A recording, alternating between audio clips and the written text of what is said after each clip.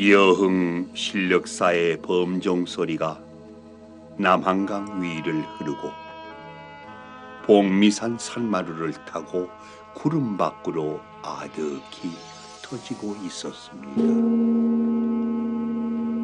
우왕 2년 5월 14일 밤은 서서히 저물어가고 있는데 주지 스님을 비롯해 회암사로부터 따라온 문도들이 나홍 스님을 가까이 모시고 있었지요. 스님은 한동안 말씀이 없으시더니 조용히 눈을 감으시고 한 수의 시를 읊으시는 것이었으니 너희들 출가한 이에게 내 일은 하니 무엇을 일러 출가라 하는가? 허사로이 이 한 몸 기르기를 구하고 이름난 성바지와 사귀어 노는 것인가? 맛난 음식으로 혓바닥 달게 하고 아첨하고 굽은 마음 낚시질하는 것인가 한종일 도량에서 예배드리고 경을 갖고 사업을 계획하는 것인가? 향로에는 신불의 향을 사르고 종을 치며 멋지게 연불하는 것인가? 마음은 바깥 경계에 달리면서 밤으로 낮을 이어 눕지 않는 것인가 다만 돈과 재물을 사랑하기에 마음속은 언제나 흐리어 있고 저더 높고 어진 스님 만나면 도리어 시기하고 피난하는 것인가?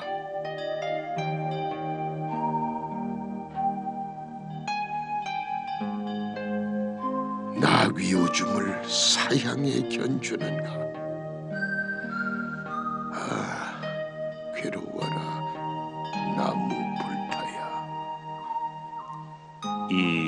한수의 시는 바로 출가자의 위선을 신랄하게 비판하고 있는 한산자의 시임을 모를 리 없는 스님들은 숙연히 앉아 있을 뿐이었지요. 나홍 스님은 눈을 가느스름히 뜨시더니 다시 감고 시를 읊으시는 것이었습니다. 네, 또 출가하니 보니 거기는 공 있는 자와 힘없는 자 있구나. 가장 위 절개 높은 사람은 귀신도 그 도덕을 흠모하나니 임금도 수레를 나누어 안고 제후는 절하며 맞아들인다. 그는 진실로 세상 복받되리니 세상 사람 모름지기 아껴야 한다.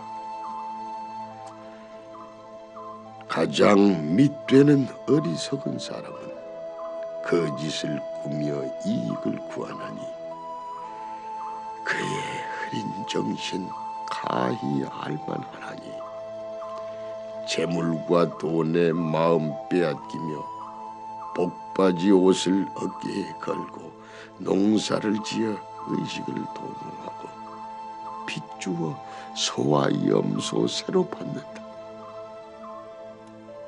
하는 일마다 진실치 못하고 곧지 못해 날마다 악한 일 함부로 저지르며 왕왕 엉덩이 등뼈 병을 앓는다. 바르게 생각할 줄 알지 못하여 지옥의 고통은 끝이 없으리. 하루아침에 병에 휘몰려 3년을 자리에 누워 있으면 비록 참 불성 갖추어 있다 해도 그것은 도리어 무명적별이니 가여워 못하여 멀리 미륵불이나 기다려볼까? 나옹 스님은 시를 다 읽고 나서 다시 주석을 붙이지 않으셨습니다.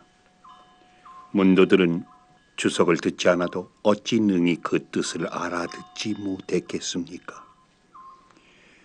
부디 귀신도 흠모하고 임금도 수리를 나누어 타며 제후는 물론이요 온 백성이 우러러보는 그런 돈 없고 절개 있는 스님이 될 것이요. 주호라도 이 양에만 눈이 어두워 권력에 아부하고 백성의 혈세나 뺏어 먹는 그런 가사 입은 도적이 되지 말라는 최후의 훈계였던 것이지요. 이윽고 스님은 시자 스님에게 분부를 내리셨습니다. 내일이 분명 보름날이랬다. 그러하옵니다. 내일 아침에 대중을 모으거라. 예, 스님. 이렇게 분부를 내리신 나홍 스님은 이제 문도들이 물러나기를 바라시는지 명신에게 지시를 내리셨습니다. 명신아, 자리를 깔거라. 예, 큰 스님. 스님의 뜻을 알아차린 문도들은 서둘러 인사를 드리고 물러났지요. 이윽고 명신이 침구를 깔아드렸는데 스님은 자리에는 안 드신 채 명신아, 예, 큰 스님.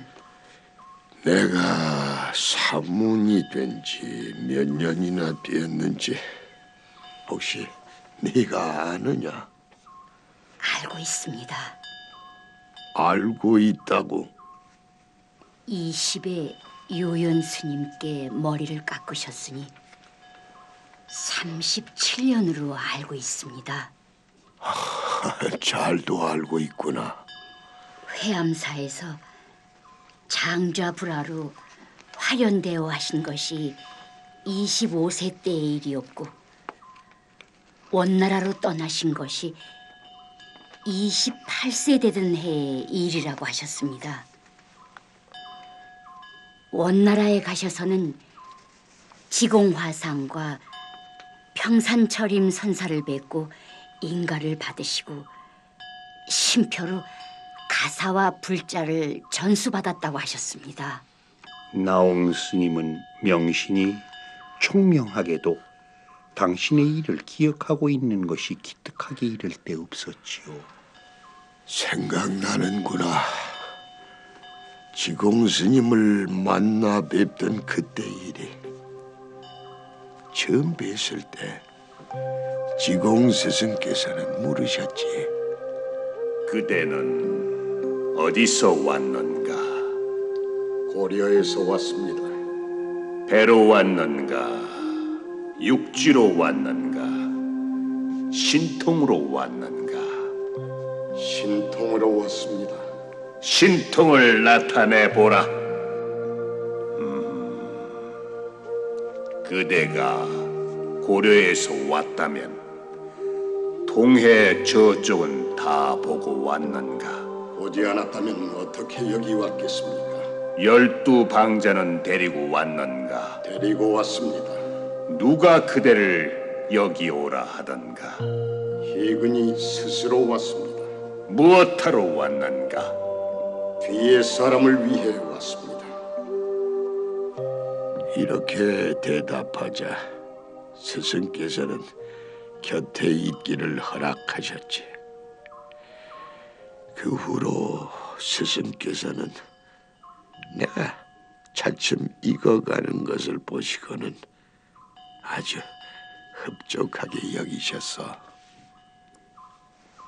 그 후 큰 스님께선 임제의 법손이신 평산철임 선사를 찾아갔다 하셨습니다. 그랬지. 평산 선사께서 그대의 한 칼을 가져오라 하시자 큰 스님께선 다짜고짜로 좌복을 들어서 평산 선사를 내리치셨다고 하셨습니다. 그랬지. 그러자 평산선사는 석상에 거꾸로 지면서 이 도적놈이 나를 죽인다 하고 크게 외쳤다고 하셨습니다. 그랬지. 그때 큰 스님께선 평산선사를 붙들어 일으키면서 내 칼은 사람을 죽이기도 하지만 살리기도 합니다. 예, 그렇게 말씀하셨다고 하셨습니다. 그랬지. 그리고 나를 인가하고 법의와 불자를 전해주셨지. 그 얘기만 들으면 통쾌한 생각이 듭니다, 큰 스님. 그래. 그때가 내 절정기였는지도 모르니라. 아닙니다. 그때가 시작이 아니었습니까? 글쎄다. 나홍 스님은 잠시 말씀이 없으셨습니다. 그러다가 이윽고 입을 여셨지요. 명신아, 예, 큰 스님. 내일 아침 일찍 마지막으로 제자들의 물음에 대답할 것이니라. 그리고 열반 불사를 지어 마칠 것이니라. 큰 스님.